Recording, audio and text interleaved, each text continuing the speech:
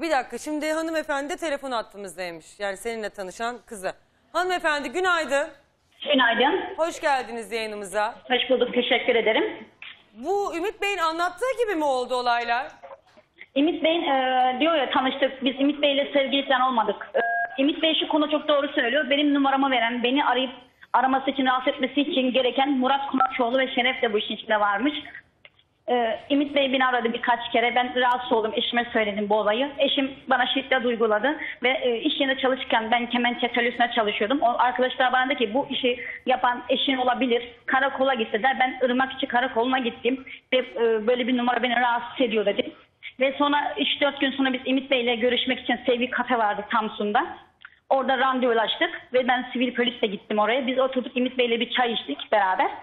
O ara sivil polis bizi bekliyordu zaten. Ümit Bey'in bana orada söyledi dedi ki birbirimize dürüst olalım, samimi olalım dedi. Ve bunu sana yapan dedi Murat Konaçoğlu ve Hatice dedi karısı için söyledi, eşi için.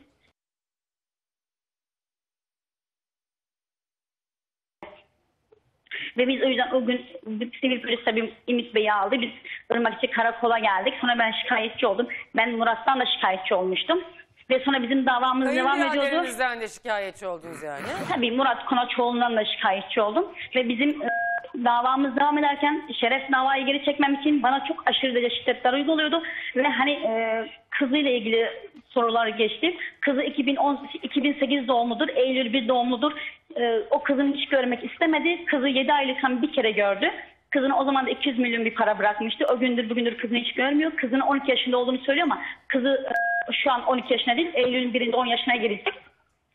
Şeref Konaçoğlu kendi kızını görmek istemedi. Benim ailemle hiçbir ilakam yok. Ben şimdi İstanbul'da yaşıyorum. 2011 yılından beri yalnız yaşıyorum. Ee, Ee, ben size bunu siz- belirtmek istedim. Peki Ümit Bey ile babanız tanışıyor muydu? Onunla bilgim yok. Ben Ümit Bey'i daha önce ekranlarda gördüğümde benzettim ama o değildir dedim. Ee, şimdi ben internet üzerinden izliyorum. Çalıştığım için televizyon izleyemiyorum. Ee, o bağlanınca Aa, oldu dedim. Ben çünkü Ümit önce hiç görmemiştim. Tanımıyorum. Babam da onu tanıyor tanımıyor bilmiyorum. Hani öyle bir konuya bilgim yok. Sizin de Çünkü ben yani size 2011 yılından beri mesaj köyde yaşamıyorum. Hayır ben de şunu anlamadım yani ne kadar size rahatsızlık veriyor mesaj atarken de siz kafeteryada randevu veriyorsunuz da sivil polis çağırıyorsunuz falan. Yani böyle film çevirmeye ne lüzum var?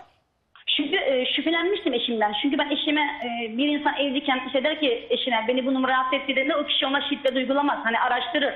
Eve e, bana diyordu ki o kişiyi sen arıyorsun diyordu. Ben o kişiyi aramadığımdan emin olduğum için bu da beni rahatsız etmişti.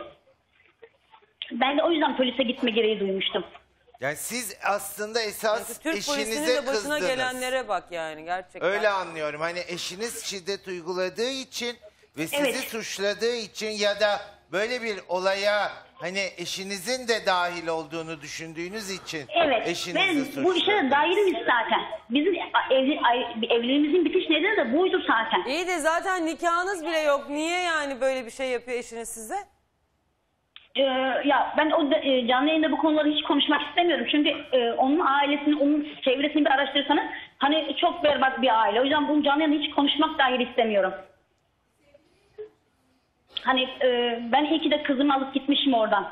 Ya Ümit Bey'le yaşanmış bir şeyiniz yok öyle anladım. Hayır hayır yok yok Ümit Bey de orada söyleyebilir. Bizim Ümit Bey'le asla hiçbir şekilde yok. 2017 yılının sonuna da e, bakarsanız hani mahkeme kararlarına falan bakarsanız da olmadığı çıkar ortaya zaten. Ee, hadi Hani ben Ümit'le Ümit Rahmi- Bey'i daha televizyonda gördüm ve tanımadım bile.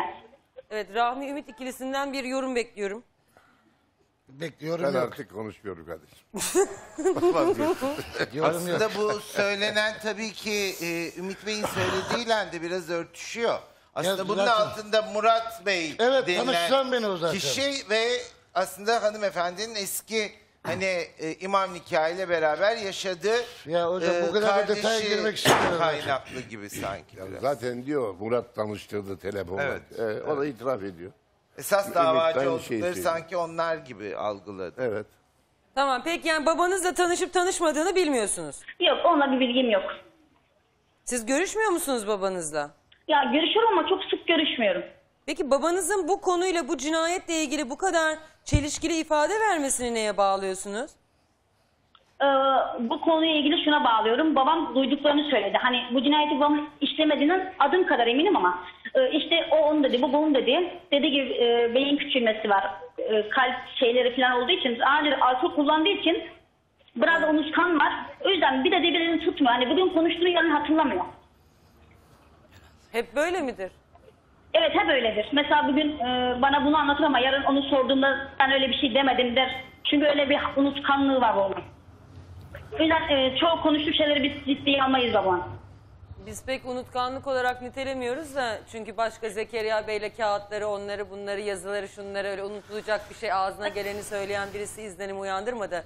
Ne bende Evet. ne de seyircilerimizde Son bence. derecede planlı aslında bir e, tutum içinde Bir gün evvel geldi Zekeriya buraya. Bey'le Evet. buluşup bir gün öncesinde buluşup sonra tekrar buluşup falan filan onların hepsi Ben biraz e, enteresan. Peki dediğim siz gibi ben Eyüp orada Bey'i tanıyor Hani musunuz? Zekeriya Bey'le ne kadar e, sık görüşüyor, ne kadar sık görüşmüyor bilmiyorum. Peki siz Eyüp Bey'i tanıyor musunuz? Hayır Eyüp Bey'i tanımıyorum. İlk defa şimdi canlı yayında gördüm. Yalan konuşuyor. Hayır Eyüp ben seni neden tanıyorum? Sadece telefonda aramışsındır, beni rahatsız etmiştir o kadardır. Yalan konuşma. bir- Abin beni çağırdı da abi ben de geleyim ağzını burnunu kırayım demedin mi? Ben var mıydım orada? Abine telefon açıp da demedin mi? Abi ben de geleyim mi? Arabanın peşine zaman takalım dedim? süratliyim. Eyüp, e, Eyüp Bey beni dinler misin? Senin davan devam ediyor. O zaman benim adımı da verseydin. Benim, Yalan- Ben aramışsam benim telefon numaralarım da vardı. Seni ben hiç görmedim tanımıyorum. Ben sadece ablanı tanıyorum Nuray'ı. E tamam. O zaman, kız- o zaman neden seni tanıyorum diyorsun? E kız da öyle söyledi tanımıyorum dedi. Tamam ama telefonda dediklerin yeterli bana. Siz Yalan. niye, niye Eyüp Bey'i hem 45 gün sonra e, kardeşiniz ayrıldı ondan? Benim onunla hiç bilgim yok. Evlendikten yanında yoktum, ayrıldıktan da yanında yoktum. Ben İstanbul'daydım onlar evlenirken. Telefon denen bir şey icat edildi ya. O zaman ailemle görüşmüyordum. Hep yalan. Eminiyle kaç Hayır ben o zaman ailemle görüştünüz? görüşmedim. Ben onu her türlü ispatlarım. Tamam ailemle ama görüşmediğimi. sonrasında siz... Aynı aynı baban gibi yalanları beceriyorsunuz. Helal olsun size. Ya Müge Hanım ben Eyüp Bey'le mahsap olmak istemiyorum. İşte. Hayır şimdi. Eyüp Bey diyor ki 7 aylık hamile kadını bana söylemeden benimle nikah kıydırdılar. Çocuğunu da benim nüfusuma geçirip sonradan da beni dövdüler diyor. Bak bu konuyla benim bir bilgim yok. İlakam da yok. Anladım. Yani konuşmuyorsunuz siz kardeşler Ya aranızda. ben bu kız konuya kardeş. konuşmak istemiyorum. Çünkü ben evlenirken de yoktum, ayrılırken de yoktum. Hani ben sadece kendi kişiliğimle ilgili bağlandım, Siz kız, açıklama kar- yaptım. kız Şimdi kardeşinizle de konuş görüşmüyorsunuz o zaman. o zaman şimdi görüşüyorum, o zaman görüşmüyorduk. Yalan konuşuyor abla. Allah Allah. Yalan konuşuyor. Emine'yi kaç sefer aradım benim yanımdayken. Bak Müge Hanım, ben bunu canlı yanında söylemek istemem. Ben İstanbul'a kaçıp da geldim. Kadın kumunda falan kaldığım için ailemle görüşmedim. 3-4 ay kaçak yaşadım. Anladım. Tamam Hani- teşekkür ediyorum. Tamam çok mersi. Tamam o tanımıyorum diyor. Ee, teşekkür ediyorum. Böylelikle hanımefendi bunu söyledi. Eyüp Bey peki size ne yaptı Hüseyin Bey? Aynı de anlattığım gibi abla. Gel kı- eşini al dedi abisi. Tuncay Akçam. Gittim ben oraya. Yemeğini yemek mi ye mi dedi. Efendim?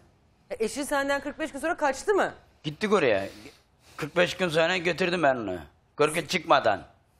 Gel dedi. Ben dedim ki işe gideceğim dedim. Ziyarete mi gittiniz Evet. yani? He. İşe gideceğim dedim. Ben geri dönmem lazım. Ben 2-3 gün kalayım dedi. Tamam dedim kal sana bir hafta izin. He. Bir hafta sonra gelip seni alacağım. Tamam. Ben Samsun'a iner inmez bana mesaj attı. Daha sana dönmüyorum dine. Ben de neden oğlum neden dönmüyorum? Annem salmıyor beni dedi. Annem aklımı çeldi benim dedi. Daha gelmiyorum dedi. Ben de onun için tamam dedim o zaman. Yapacak bir şey yok dedim. Abisini aramışlar bunlar. Aradan iki sene geçti. Abisini aradılar. Abisi dedi ki gel karını al. Ben geldim. İki sene sonra. Evet. Karını vereceğim sana dedi. Ben de gittim oraya tek başıma. Güvendim. Ne bileyim bana fıstık kuracaklarını. Ee, babası, annesi... Sen orada arayıp rahatsız mı ettin kadını? Aradın Yok, mı aradın? Hayır ben Emin'i hiç aramadım. Bir sefer aradım. He. Geliyor mu gelmiyor mu? Gelmiyorum dedi. Tamam dedim. Bir daha da aramam seni dedim. Sen arayacaksın beni dedim. Ben de aramam dedi. Abisi aradı beni. İstanbul'dan geldim dedi. Gel işini al dedi. Ee? Ben de gittim oraya. Dedi ki siz böyle böyle olaylar yaşamışsınız. Ne yaşadık ki dedim. Ya kavga etmiş. Ya biz karı koca kavga ederiz dedim. Sen de karışamazsın ona dedim.